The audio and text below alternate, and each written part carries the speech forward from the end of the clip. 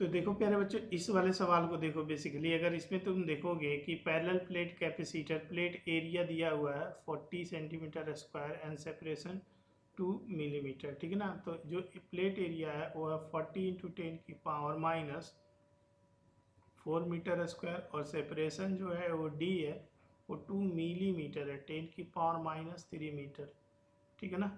यहाँ से the space between field with dielectric constant thickness जो थिकनेस है टी है वो वन मिलीमीटर है तो टेन की पावर माइनस थ्री मीटर यहाँ दिया हुआ है। डाइलेक्ट्रिक कांस्टेंट के की वैल्यू फाइव दिया हुआ है तो कैपेसिटेंस ऑफ़ द सिस्टम देखो ये पैरेलल प्लेट कैपेसिटर है ये वाला तो ये जो पैरेलल प्लेट कैपेसिटर है ये तो ये वाला जो है बेसिकली तुम देखोगे ये ऐसे थ्री डी भी होता ऊपर से यहाँ से आ, प्लेट कनेक्ट करोगे ये वाला जो प्लेट है प्लस की कनेक्ट करोगे, यहाँ से माइनस कनेक्ट करोगे, ठीक है?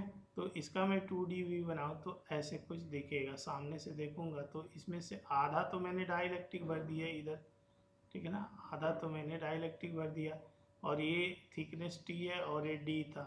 तो ये जो ये जो डाइलेक्ट्रिक कांस्टेंट के वाला है और यहाँ पे एयर है के इक्वल टू वन तो दो अलग अलग कैपेसिटर बनेंगे और दोनों आपस में यहाँ से बैटरी करोगे प्लस माइनस तो ये दोनों सीरीज़ में होंगे तो ये कैपेसिटर C1 और C2 तो नेट कैपेसिटेंस हो जाएगा सीरीज़ में तो net capacitance one upon C equivalent one upon C one plus one upon C two के इक्वल होगा, और C की जो वैल्यू होती है A epsilon naught upon D dielectric constant के मल्टीप्लिकेशन के इक्वल होती है तो यहाँ से तुम देखोगे तो वन अपान सी इक्विवेलेंट की जो वैल्यू आ जाएगी, one upon C one C one पहला A epsilon naught dielectric constant के और इन, इसके बीच का सेपरेशन ये वाला टी है तो ये टी ऊपर चला जाएगा, ठीक है? प्लस सी टू की जो वैल्यू देखोगे तो ये कितना बचा? डी माइनस टी बचा तो सेपरेशन वो डी माइनस टी ऊपर आ जाएगा और यहाँ ए एफ़ साइलिन नॉट अब एक काम करते हैं, सारी वैल्यू रख देते हैं। तो अगर यहाँ से सारी वैल्यू रखोगे तो देखो क्या मिलता है।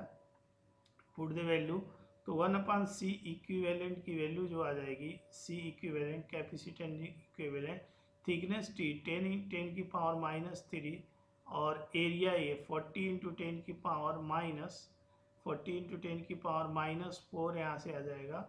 और यहाँ से देखोगे तो डाइलेक्ट्रिक इंस्टेंट के फाइव एफसाइलिन नॉट यहाँ बचेगा। प्लस यहाँ टेन की पावर माइनस थ्री यहाँ भी आ जाएगा और ये फोर्टी इंटू टेन की पावर माइनस फोर और यहाँ एप्साइलिन नॉट बचेगा।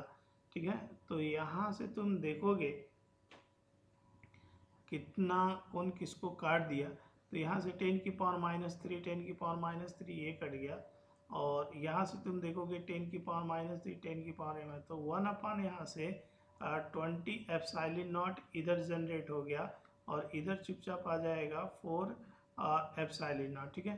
तो जब इसको सॉल्व करोगे तो सी इक्विवेलेंट की जो वैल्यू आ जाएगी, वो आ जाएगी ten epsilon naught upon three. तो this is the final solution of this problem तो ten epsilon naught upon three इसका मतलब ये हुआ ten epsilon naught upon three ये फेरेड में आएगा तो एफ़ फॉर फेरेड, ये वाला ऑप्शन सही है, ये गलत है, ये गलत है और ये गलत है।